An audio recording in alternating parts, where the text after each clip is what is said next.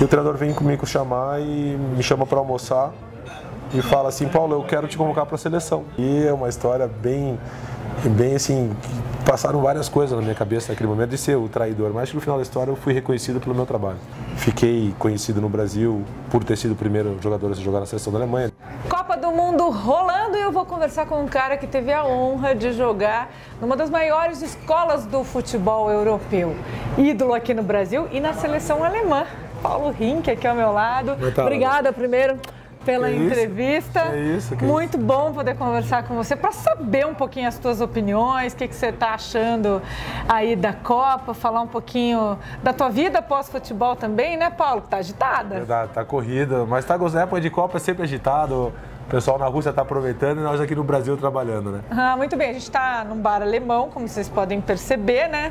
Não por acaso, Paulo vai me dar umas aulas aqui agora de culinária. Quer fazer entrevista em alemão, Lara, ou não?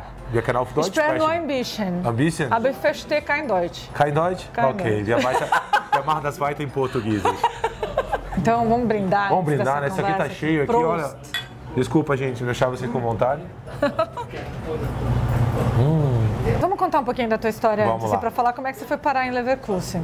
Você é daqui de Curitiba. Nascido aqui, no centro da cidade, na Nossa Senhora de Fátima, em 73.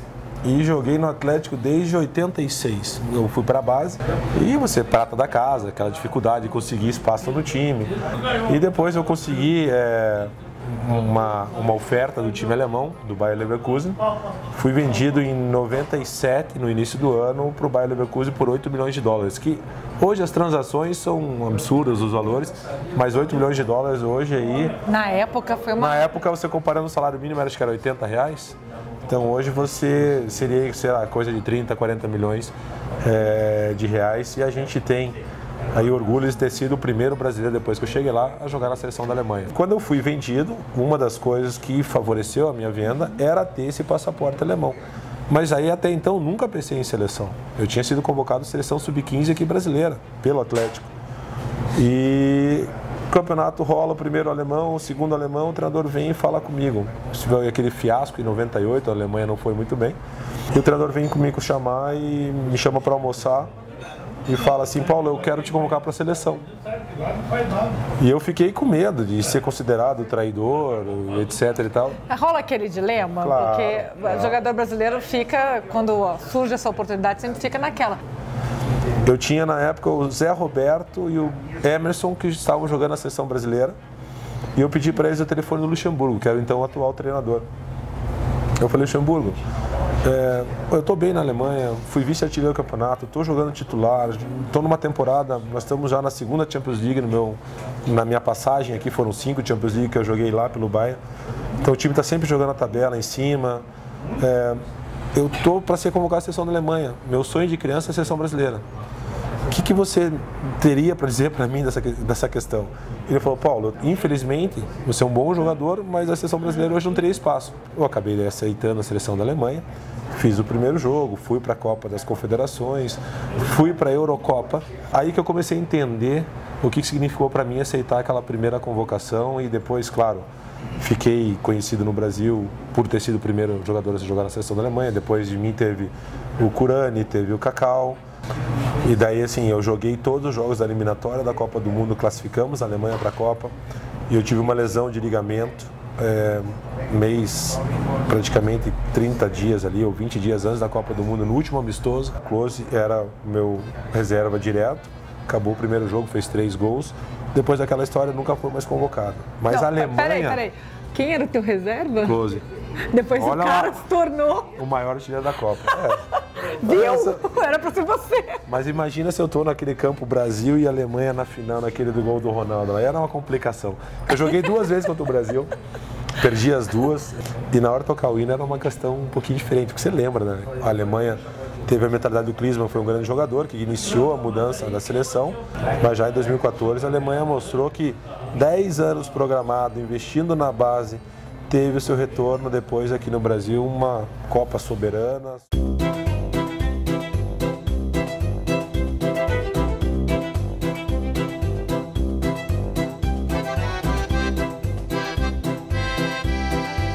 Já chegou aqui a comida, a gente está Comendo. Bratwurst, Bockwurst, são salsichas típicas alemãs, uma bistequinha, ah, tem uma raiz forte, né? Tem um nome, não Raiz vou forte, lembrar é. Não, é raiz forte mesmo. É, umas coisas bem diferentes, uma gelatina de carne de porco.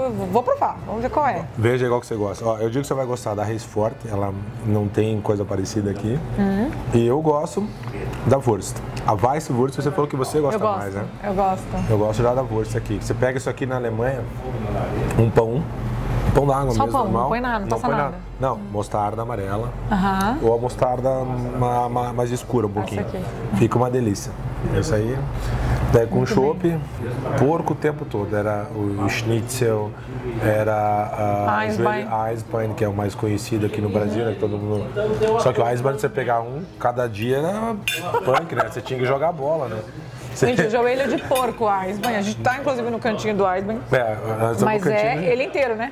Não, ele é o joelho literalmente. Joelho inteiro. mesmo. Ele vem tudo com a carne, com as cartilagens, que ela fica mole. Ele fica tipo uma costela do boi, só que derretida do joelho. Só que ele pega daquele joelho, da- do joelho dos porcos. tratado no confinamento mesmo. Mas é. Eu não passei mal com comida lá não, nunca me apertei. Você cozinha sobremesa ou então Não, salgado? não, assim? cara, não tenho talento Nada? nenhum pra cozinhar, mas que talento pra comer que eu tenho. Vamos lá, vamos comer um pouquinho, Vamos então comer um depois a gente continua conversando.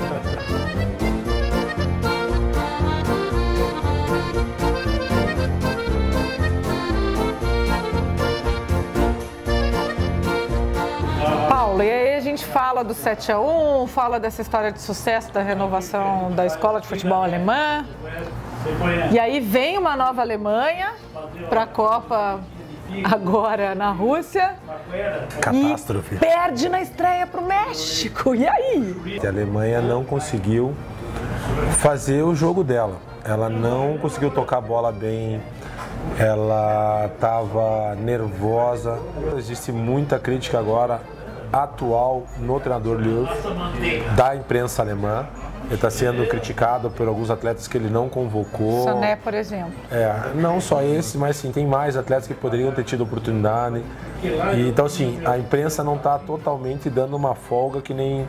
Acho que o Brasil hoje dá uma folga pro Tite. Estão cobrando muito do treinador e eles estão agora sob pressão de ganhar a próxima partida. Então, aí tem Alemanha e Suécia. Aí o, o peso é muito maior, né? Tem que Eu- ganhar. E até pelo histórico, né? Eu acho que a Alemanha é mais time. Mesmo com, com- com a Suécia jogando no seu máximo, a Alemanha tem mais time. O problema é você botar o time em prática. Você, às vezes, na teoria, você vê lá uma escalação linda e maravilhosa. Esse é um exemplo do próprio Brasil. Escalação nossa contra a Suíça, se você comparar nome por nome, nenhum dos jogadores deles vão ser titular em cima dos nossos. Mas o futebol é uma, uma arte de você jogar em equipe. E se tiver Alemanha e Brasil? Pra quem você torce? Honesto. Eu trabalhei com a equipe alemã, até porque o Bierhoff hoje, que é o diretor-geral da seleção da Alemanha, era meu companheiro de ataque, então a gente tem uma, uma amizade, uma confiança, ele confia na minha pessoa, mas eu respeito muito esse a camisa que eu vesti por mais de 20 jogos, então é, vivo aqui no Brasil, mas acho que a minha história é muito é, marcante na seleção da Alemanha. Você falou de companheiro de ataque, aí a gente vai chegar num, numa, num momento da entrevista que eu tô doida pra falar, porque o Paulo aqui no Brasil, ele jogou em outros clubes, ele citou Chapecoense, teve Atlético Mineiro, mas assim, a identificação dele é com o Atlético Paranaense. onde eu mais joguei. Onde ele começou, onde ele mais jogou. Ele é um dos maiores artilheiros da história do clube. E aí, curiosamente, a, a grande marca dele foi ao lado de um outro atacante que é o oposto dele. O baiano? E aí o Oséias era só o seu parceiro, assim. Como é que foi isso? Como é que esse casamento deu tão certo? Não, não sei explicar. Eram dois caras querendo aparecer no certame nacional, querendo seu espaço. Eu tinha voltado de Santa Catarina bem fisicamente, então estava numa época muito boa. E foi um negócio, Lara, que assim, aconteceu. Nunca mais aconteceu na minha vida, nunca mais. Eu tive grandes jogadores, como eu falei, Bierhoff, Ulf Kissen, Cassianca, que jogaram comigo. É, outros atacantes, é, no próprio Santos eu peguei, eu joguei com Viola. É, bons jogadores, mas essa, essa questão de essa irmandade que a gente tinha no Atlético em 95, porque a gente precisava ganhar, o time era é, limitado. Mas era uma dupla muito forte e que tinha resultado. Nós fizemos juntos, Lara, só para você ter ideia, em um ano e meio de dupla, mais de 160 gols. Só nós dois. Você não pegou a geração dos jogadores que sofrem com essa superexposição em redes sociais. Porém, você tem a tua vida completamente exposta Se como você político, entrar no né? Facebook agora, você vai ver minha declaração no Facebook, não, no, no TRE. É, minha, declaração de imposto de renda está na, na internet. Eu tenho essa exposição, mas não tenho medo, Lara. Eu não, não roubei de ninguém, eu corri muito, suei muito para isso. É, ajudo muitas pessoas hoje com a política. Aí depois de eu eleito, eu parei para pensar com a minha esposa o que, que eu quero para minha vida. Não quero sempre política. Eu acho que é uma fase da vida. é, eu tenho um sonho de ser presidente do Atlético. E assim, para eu conseguir é, ser presidente do Atlético, eu tenho que ter um respaldo político, não só como vereador. Eu vou tentar agora um passo acima, que é o deputado estadual, e, e vou concorrer ano que vem à presidência do Atlético. Eu vou voltar a fazer futebol como dirigente. E o time está enfrentando aí com o Diniz uma pressão danada né? na Copa do Mundo. Ninguém sabe, nem eu sei se o Diniz vai voltar depois da Copa ou não. O Atlético ainda nem ele acho que decidiu. Vamos lá. Qual que é a sua torcida? melhor para o clube. Eu acho que nesse momento seria a saída do Diniz. Nesse momento. Porque ele teve a oportunidade dele, teve a, a opção. Eu gostaria do Alberto, se ele fosse não fosse lá para Pra Arábia. lá, o Alberto sempre foi o sonho de consumo, um amigo meu. De certa maneira, você como jogador já era meio político. Eu sempre fui capitão das equipes por ano passeio, eu sempre era dos líderes que negociava premiações com os diretores. Então eu sempre tinha essa, esse quesito de liderança nas equipes que eu passei. Nunca quis ser treinador, tá? Não tenho paciência de ver jogador burro hoje jogando futebol.